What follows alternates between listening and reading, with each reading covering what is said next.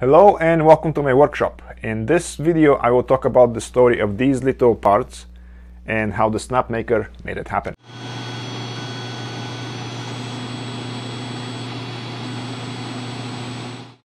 When I finished the top drawer of my display cases in the latter part of last year, I was faced with a challenge. The challenge was how to display the writing instruments in their new dedicated space. I couldn't lay them flat on the surface as any movement will make them roll over the place as you can see right now in this demonstration.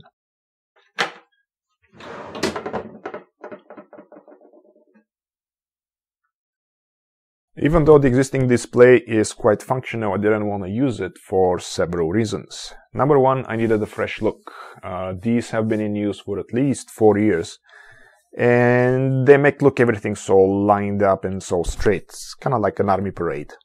Also, the cases are much smaller than the actual drawer, so there'll be a lot of unused real estate.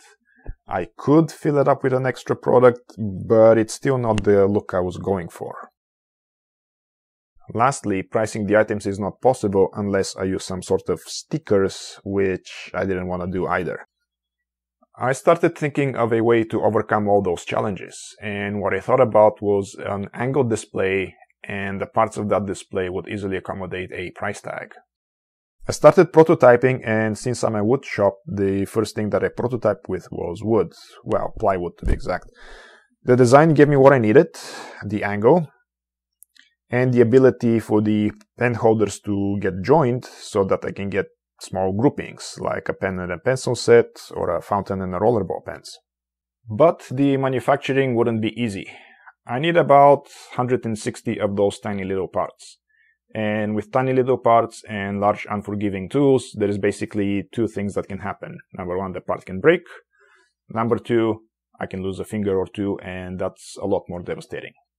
So I thought about 3D printing. I transferred the main design into my CAD software and I came up with a couple of ideas that way. The drawing that you see here is the, basically the evolution of the design.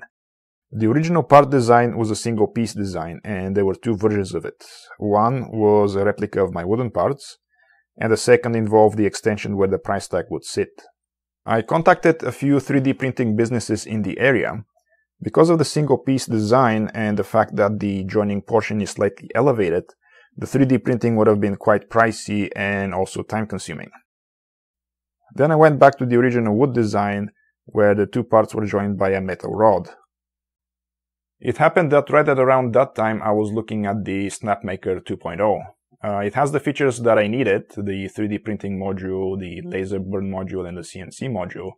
So I thought if I have it, I would be able to do my display, but also expand my business operations, for example, offering engravings on the various items that I have. Once I got the Snapmaker, I started printing the 3D parts. Of course, there is always the learning curve as to how to 3D print, what settings are best, whether I should do a solid piece versus a hollow piece. But it was a proof of concept, and that was the most important thing. Then the muse came again to improve the design. Instead of the thick metal rod, now all the parts are joined by a small diameter metal rod, either brass or stainless steel. This not only gives a cleaner and consistent look, but it also allowed for the parts to be slightly smaller, which reduces the printing time and materials used. Now it's time to print those in large quantities.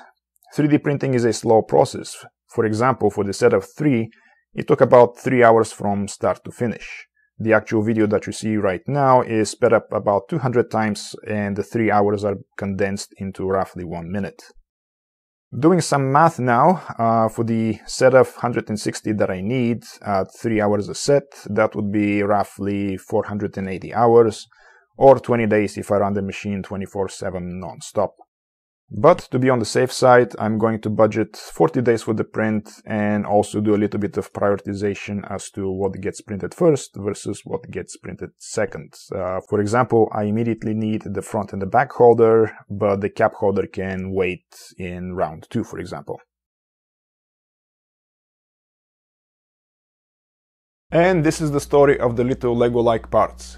In my next Snapmaker video, I will turn shop waste into something useful using the Snapmaker 2.0.